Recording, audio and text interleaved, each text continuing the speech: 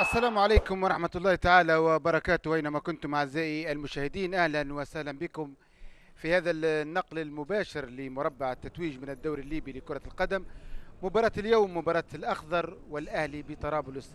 مباراة مهمة هذه دقيقة حداد على لاعب منتخبنا الوطني اللاعب النقريش الذي توفي الفترة الماضية. أيضا على آه، عبد الله حمي. آه، دعونا فقط آه، نمر إلى تشكيلة آه، طاقم التحكيم الذي سيدير مباراة اليوم الدولي آه، عبد الباسط آه، شهوبي حكم ساحة ومساعد أول آه، مروان الحراري مساعد ثاني آه، سفيان علي حكم رابع رابع عفوا نصيب الهواري والمراقب الدولي أحمد آه، الفيتوري. المباراة بدأت آه، فريق ال- الأهلي سيكون آه، باللون الأبيض وفريق الأخضر باللون الأخضر ال- المعتاد. الكوت يمر بشكل طيب الكوت في الجهة اليسرى. الكوت. منصور رزق.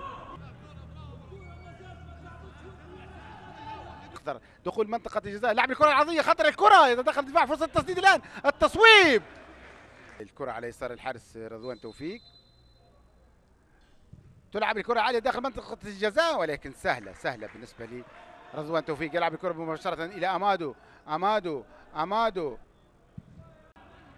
هذا هو عبد الرحمن العمامي. هذا هو هداف فريق الأخضر تخيلوا. هذا اللاعب لاعب وسط يسجل عشرة أهداف لصالح فريق ال- الأخضر.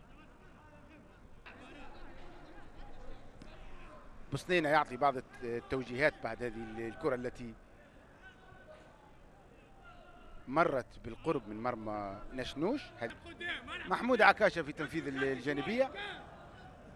يلعب كرة تجاه الترهوني تصل لمحمد مفتاح أقرب لأمادو. يلعب الكرة الخضراء الكرة الان وركلة جزاء! ركلة جزاء لصالح فريق الأخضر. ركلة جزاء. اذا اعاده للقطه ركلة جزاء. لصالح فريق الأخضر يعلن عنها حكم المباراة مع مطلع الدقيقة الخامسة والعشرين. إعادة للقطة تمريرة أمادو كانت مثالية بالفعل. والعمامي في التنفيذ في مواجهة نشنوش. عبد الرحمن العمامي هل سيضيف الهدف الحادي عشر بالنسبة له؟ يتقدم العمامي يتقدم العمامي ويسجل الهدف الأول. هدف أول لصالح فريق الأخضر عن طريق عبد الرحمن العمامي. إذا عبد الرحمن العمامي يفتتح التسجيل ويضع الأخضر في المقدمة. إعادة لركلة الجزاء.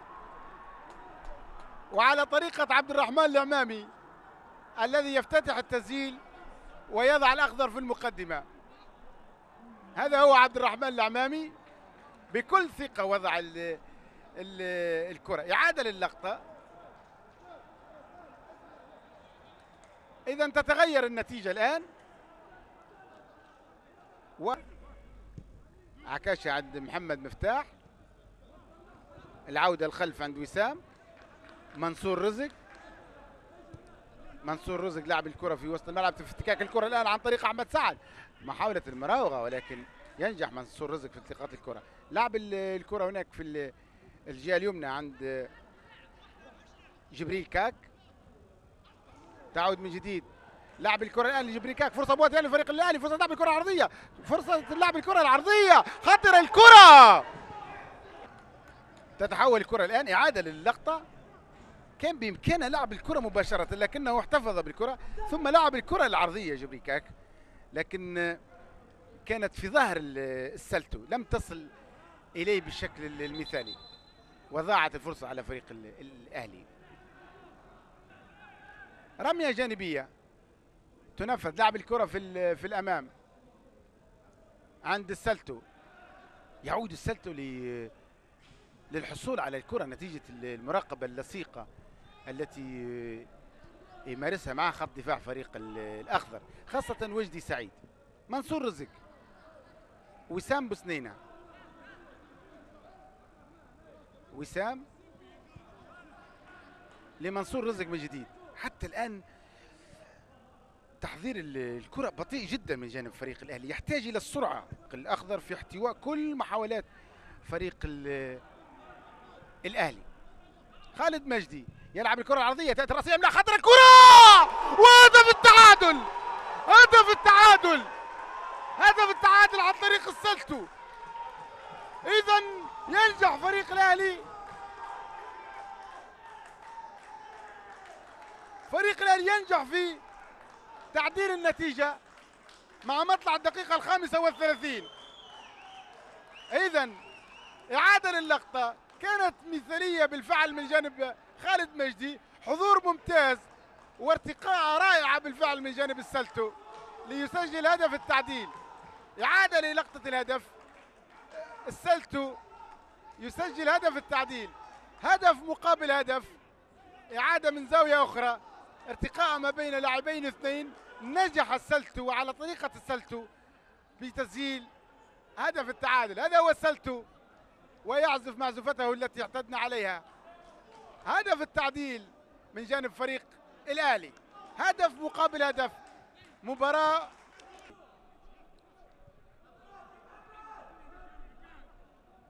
وجدي سعيد. حسن عباس. يراوغ بشكل طيب حسن عباس. في وسط الملعب. لعب الكرة في الأمام. حسن عباس. يراوغ بشكل طيب حسن عباس. في وسط الملعب. لعب الكرة في الأمام. تعود عن طريق آه،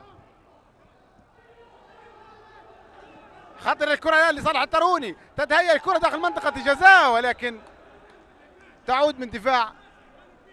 فريق الأخضر. تصل عند محمد مفتاح المراوغة والمرور. وافتكاك الكرة من جانب لوكو لا وجود لخطأ. تبقى لصالح فريق الأهلي طرابلس لعب الكرة في الأمام. عند الشامخ الآن من جديد من جانب فريق الأخضر. لعب الكرة من جانب عبد الله عبد الرحيم للكوت.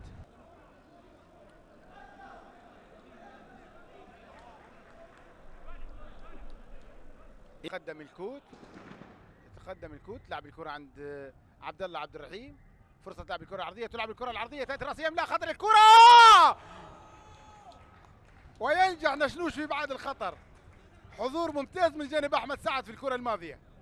كاد أن يضيف الهدف الثاني تتحول الكرة لتصبح ركنية لصالح فريق الأخضر. تابعوا لهذا اقتناص الكرة من جانب أحمد سعد في الكرة الماضية.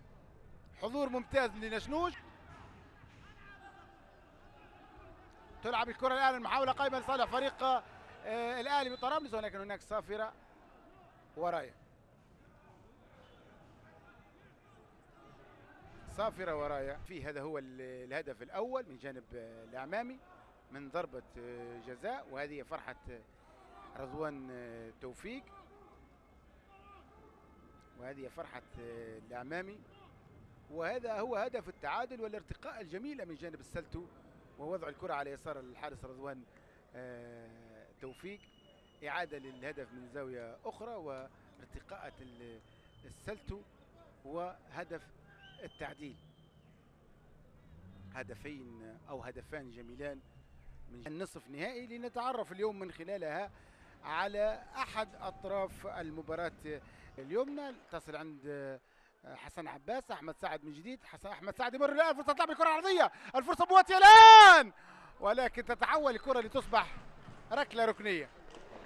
محاولة خطرة لفريق الأخضر وحضور ممتاز لنشنوش.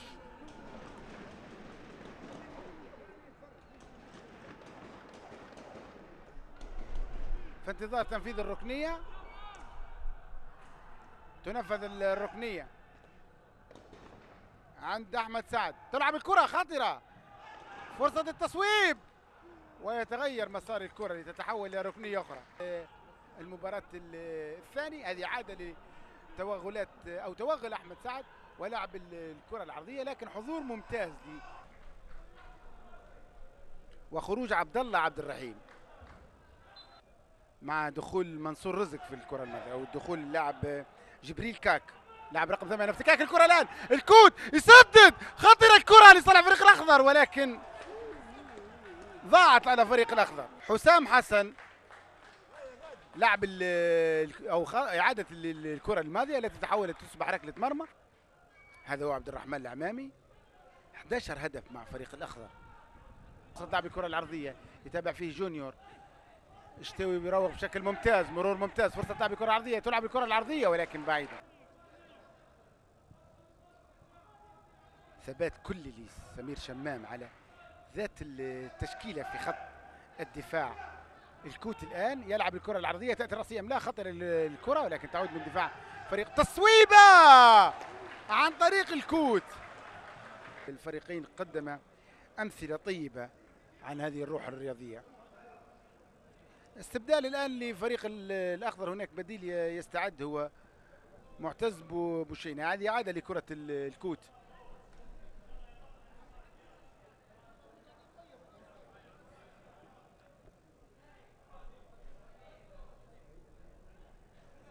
إذا معتز يستعد للدخول لاعب رقم 22 أيضا هو لاعب مهاجم.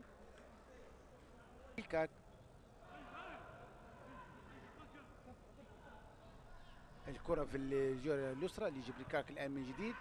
لعب الكرة تجاه سالتو لو وجود لخطأ سالتو الآن فرصة الان فرصة للفريق الاهلي فرصة! والهدف الثاني!